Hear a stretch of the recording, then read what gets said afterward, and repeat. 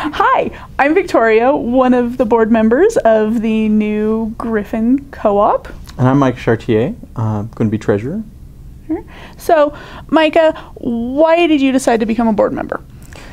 Gryphon's has been in my childhood for most of it, and you know, between board games and D and D, playing Magic, uh, the ability to give back and make sure that my kids have a place that they can also discover these things. I think that that's really important. Why do you? You know, I just love coming to Gryphon. I always feel welcome here and have from the first moment I ever came to the store with just a scared little question. And I come every week for guild ventures that I can, and I want to make sure that other people can come and experience this too and become part of our Gryphon Coop. Hmm. Favorite class? Favorite class? Um, gonna have to go with a rogue. Mm. So if you want to learn more about the co-op, you should look at coming to a meeting so you can find out information about the meetings on our website or on Facebook or come into the store.